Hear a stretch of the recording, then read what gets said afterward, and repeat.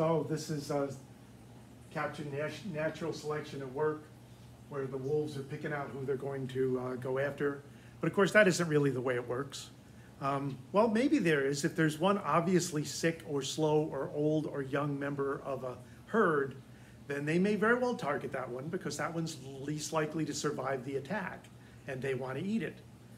But that's how this works. Their nature, and they are selecting through their predation the winners and the losers. Uh, but that was the last thing on the list of uh, what makes things alive.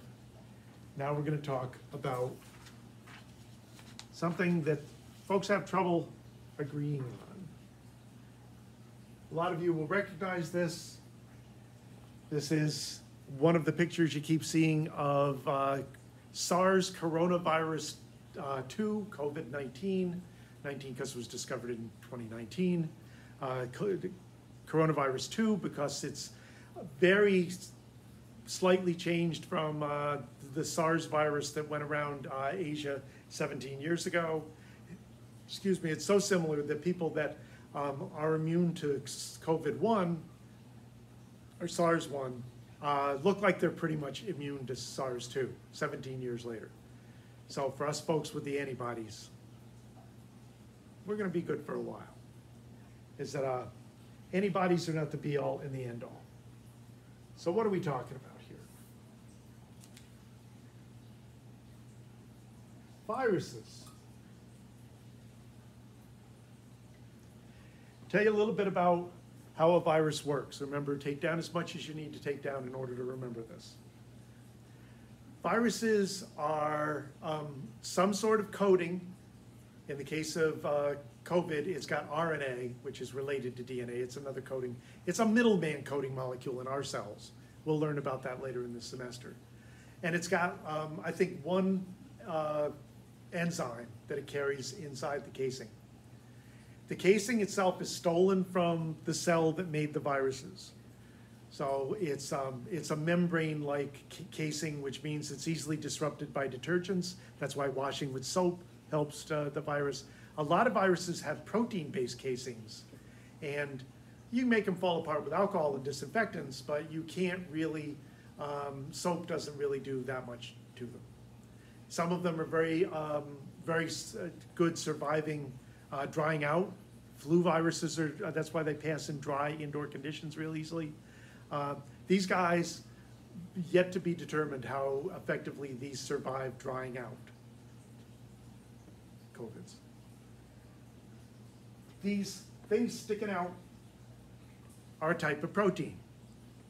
It is uh, what they call the spike protein, and here's how a virus works. It's made by a cell, released from the cell, and tiny, tiny, tiny little particle. If this was a virus, um, in comparison, uh, for those of you that know the campus, um, if this was a virus, the campus itself would be the size of a host cell.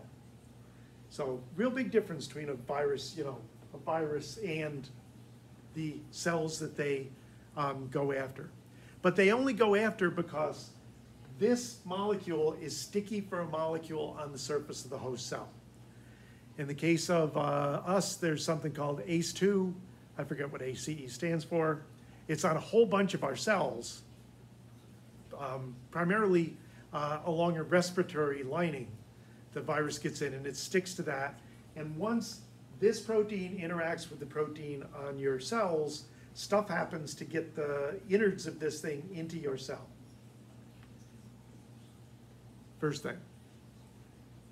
This was released from a host cell fully formed.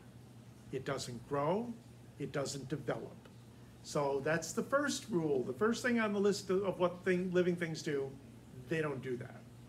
Also, once it's out of the host cell, it isn't doing anything except hopefully primed to bump into another host cell and respond. But that's the only thing it will respond to. It has no ability to respond to the environment beyond, you know, falling apart, which isn't really a response. Um, so it isn't really interacting with the environment. So it's breaking that rule.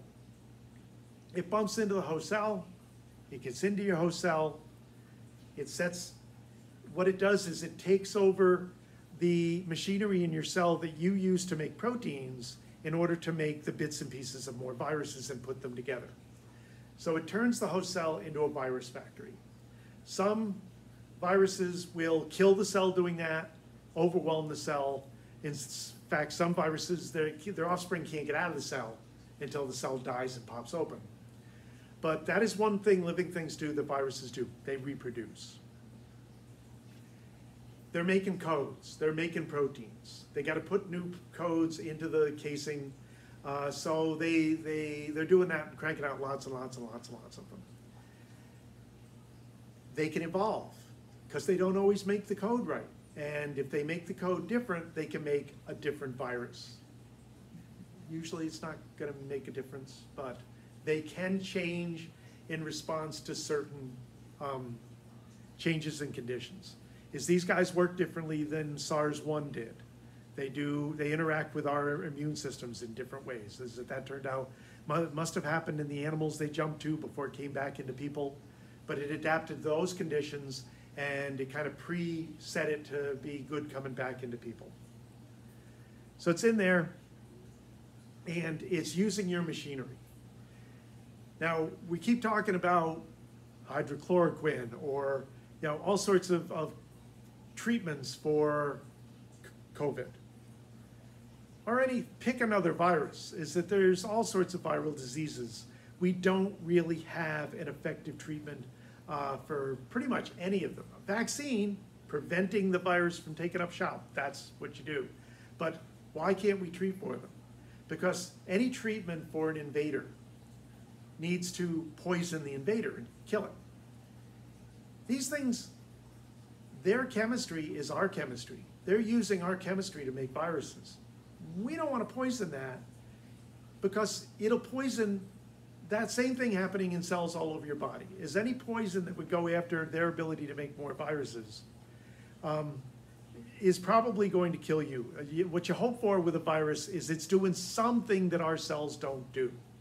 And in fact, it does have a weird little um, way of making proteins where it runs the code through the system and coming out of the system are long strings that are going to be wound up into proteins. But it just makes them continually, and it has a protein that it brought with us with it that uh, it, it's also making more of. But it's watching this string of proteins come out and go, okay, that one's done, clip, boop, and it makes a viral protein. But it keeps going. Well, that one's done, clip, let's make it a viral protein. That one's done. Your cells never do that. They never do that kind of, you know, snip them apart as they're made sort of thing. And so uh, somewhere somebody's trying to come up with a treatment that goes after that chemical because it shouldn't affect chemicals in your body. We do some stuff where we splice pieces of RNA together in order to make an effective code, it may turn out that any treatment that goes after the, uh, the COVID uh, protein may screw that up and really mess us up. And that's the thing. That's whenever you're developing drugs, you never know what your poison is maybe going to interact with somewhere else in the body that you never even knew was potentially a problem. So, the viruses reproduce. They make more viruses. They evolve. They are not cellular. That's another thing they break. They use DNA and proteins, but they are not cellular. Um, so people, biologists look at this and go, well, then they're not alive yet. They're not alive. Is that they, they don't have enough of the stuff on the checklist. And then me as a biologist, I'm a parasite biologist, this thing is a pretty effective parasite. As far as I'm concerned, it's alive in every way that's important to be alive. But some people go, well, you can't kill it if it's not alive. Some people go, well, that doesn't, you know, the last I interviewed them, the viruses didn't care what we labeled them. Is one thing you got to keep in mind when you're taking a biology class is that we, we're people. We like to give names to stuff. We like to give categories to stuff. Is we're going to have a whole chapter on how we do that. And so if these things are alive or not, it matters to us to some extent, but it really doesn't, doesn't change what the viruses do or don't do.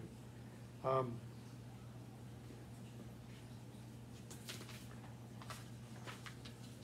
I'm trying to figure out what I did with my notes here. Ah, there we go. That's it for chapter one. So we managed to pull a couple of sections together and make them not that huge. Uh, Sometimes I'll do this where I don't write much of anything down. I hope you've got, you know, either an ability to go back through this and listen or copying notes down yourself. Is that the act of writing stuff out can be very effective in helping to learn stuff. That's one of the reasons why I make you watch me write stuff out, because that helps some people, um, as well as slowing me down.